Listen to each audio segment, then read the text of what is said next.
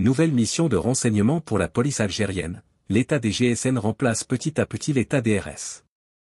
Les BRICS s'ouvrent à de nouveaux pays, mais l'Algérie reste à l'écart.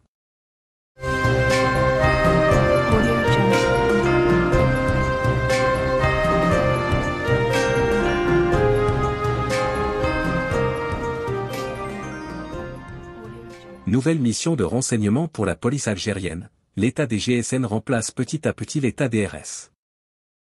Depuis l'arrivée du régime Tebboune, la dynamique sécuritaire en Algérie connaît un changement radical. L'influence dominante de l'État des RS, symbole du pouvoir des services secrets, s'efface lentement pour céder la place à un État policier incarné par l'État des GSN.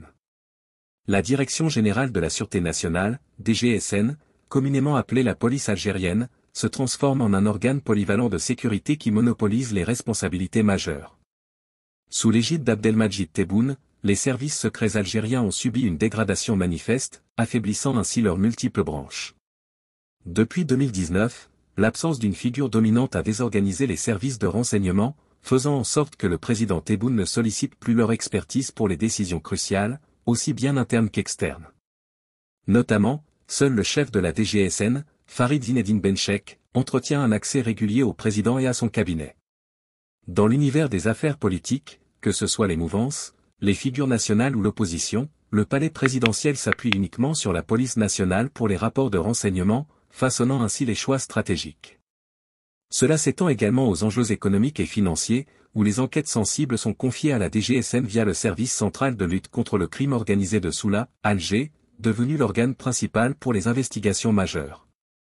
Les services secrets se trouvent ainsi marginalisés de ce processus, ce qui réduit leur influence et met en danger leur efficacité, un constat inquiétant selon de nombreux observateurs. La réputation d'efficacité, de pragmatisme et de perspicacité des services de renseignement algériens dans la résolution des crises politiques, sociales et économiques est désormais mise en péril. Le régime Tebboune a fait le choix de laisser de côté les services secrets au profit d'une police nationale plus contrôlable et soumise au pouvoir présidentiel. Dans cette lignée, le régime Tebboune a renforcé le groupement des opérations spéciales de la police, GOSP, l'unité d'élite, en lui conférant de nouvelles missions de renseignement et d'infiltration. Des officiers du GOSP ont été formés à l'étranger, notamment en France, pour accroître leur puissance en matière de renseignement technique, scientifique et opérationnel. Le GOSP est désormais installé dans les locaux de l'Office central de lutte contre le crime organisé, devenant une entité policière polyvalente capable de gérer diverses activités criminelles, y compris la surveillance d'entités menaçant la sécurité de l'État. Ces nouvelles compétences empiètent sur le territoire des services secrets, désormais restreints par les prérogatives du régime Tebboune. Leur rôle se limite à la production d'analyses, de rapports et de notes de conjoncture, souvent négligés par la présidence du fait de leur divergence avec les orientations autoritaires d'Abdelmajid Tebboune.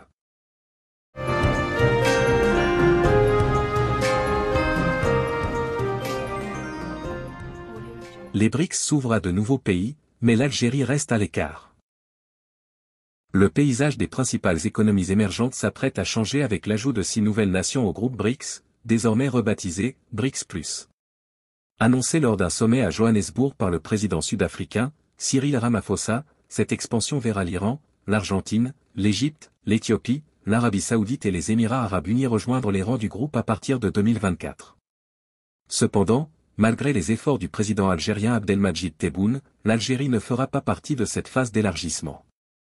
Le président avait manifesté un certain optimisme quant à l'adhésion de son pays aux BRICS, allant jusqu'à annoncer en décembre 2022 que 2023 serait l'année de cette adhésion. Pourtant, sa décision de ne pas participer personnellement au sommet de Johannesburg et d'y envoyer son ministre des Finances laissait présager le résultat final.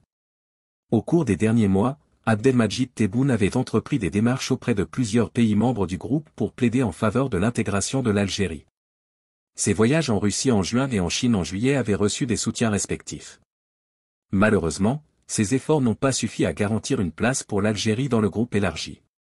Tandis que les six nouveaux membres commenceront officiellement leur participation au sein des BRICS plus le 1er janvier 2024, cette extension est également porteuse d'enjeux économiques les dirigeants des pays membres ont demandé à leur ministère des Finances et à leurs banques centrales respectives d'étudier la faisabilité de mettre en place des instruments financiers et des plateformes de paiement basées sur les monnaies nationales.